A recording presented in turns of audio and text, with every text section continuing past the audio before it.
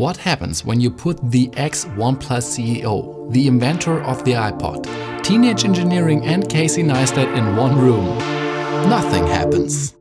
The design of the Nothing Phone 1 is unique and polarizing. The transparent back offers insights of things like the wireless charging coil, parts of the speaker and a lot of dotted covers. I think it's a bit of a shame that you can't see the actual tech, but I understand that circuit boards, contacts and sensors don't appeal to everyone as much as they do to me. This way the whole thing looks neat and still more exciting than an ordinary plain glass back panel. 50% of the plastics used are recycled or bio-based materials. That's industry leading and 58 kilograms of CO2 per device equals to about 500 kilometers of driving, so that's really not much. The matte angular aluminium frame is even 100% recycled and strongly reminds me of the current iPhones. The similarity cannot be denied in terms of feel in the hand either. Very striking, high quality but not super ergonomic. The coolest design element is guaranteed to be the roughly 900 tiny LEDs that make up the so-called glyph. It flashes in sync to the ringtone, or when a message arrives, or when you use the reverse wireless charging, or as an indicator while charging. I mean, it is a little bit over the top and super flashy, but I like this kind of stuff and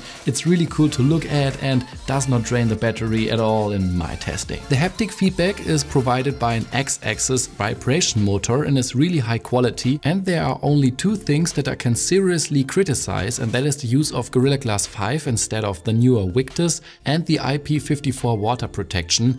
It's not the best, but hey, at least there is one. Every now and then, however, my eyes wander from the back to the front because the display of the Phone 1 is equally as great to look at. 6.55 inches in size with a Full HD Plus resolution, OLED technology for perfect blacks and contrast as well as vivid colors. Because a competitor boycotted Nothing's actual plans to install a 90Hz OLED display, we now get to enjoy 120Hz with 800 nits of typical and 1200 nits of peak brightness. My highlight are the symmetrical bezels all around. It's a rarity in this price range anyway, but also in general and I love it. If the first smartphone of a small company can deliver such a great display, why can't all the competition to it then. The Phone 1 looks like an iPhone, only better because it doesn't have a notch and just a tiny hole in the corner for the selfie camera. The fingerprint sensor is also in the display and it's optical and too far down for my taste, but it unlocks quickly and reliable. The stereo speakers sound good, but lack bass at the full volume. Nothing OS 1.0 is based on Android 12 and it's relatively similar to a Google Pixel. Many fonts have been replaced by Nothing's very own font and the quick settings are a bit larger and have an overview of connected devices. The home screen has hardly any customization at all and Nothing only has four custom widgets. Only two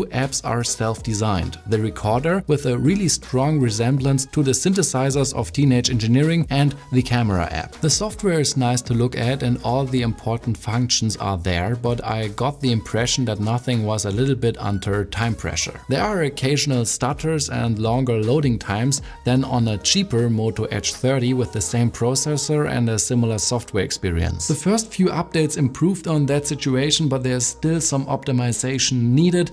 But I'm glad to announce that there will be three years of Android and four years of security updates. So that is really quite a lot, especially in this price area. And when I mentioned the processor already, nothing opted for the Snapdragon 787G Plus instead of a 7 Gen 1 because it is manufactured by TSMC and not Samsung. I can 100% understand this decision. The performance is about 35% below current high-end chips, but the heat and power consumption is better. There's a 8 and 12GB RAM model and 128 or 265GB of UFS 3.1 storage. The Phone 1 runs so fast that many would only notice the difference from a more expensive device in a direct comparison. What everyone will notice though is the great battery life. The 4500 mAh could last me all day long and even more with 5.5 to 6.5 hours of screen on time. Quite a lot and more than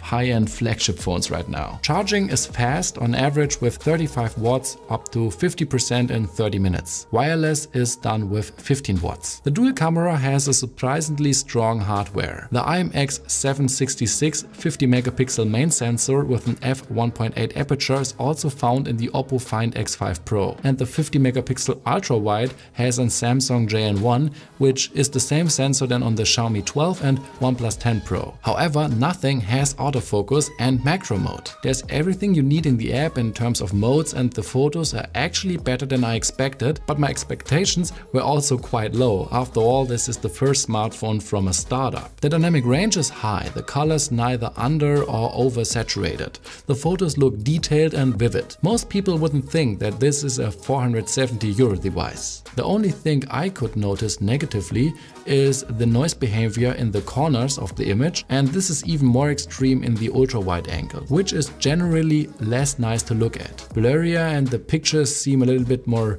dirty, if you can put it that way. I like that you can activate the glyph in the camera and it brightens up for macro photos, for example. The night mode is great, but you have to stand still for 3 seconds. The pictures are bright and colorful, but the ultra wide angle still looks a little bit over processed. The selfies are perfectly fine, but nothing special. In its price range, the Phone 1 really does well and the Google Pixel is a bit more consistent, but not double as good. Conclusion. I was afraid that the Nothing Phone 1 could be a huge disaster and a big flop for nothing. But I'm glad that it is really, really good and it proves one point really clearly and that is that mid-range phones don't need to be boring and I like that really much. It is cool and it is exciting and of course it's not revolutionary like they announced but I think it's fun. And there's nothing wrong about fun. And even though you pay a little bit extra for the design, I think the price is still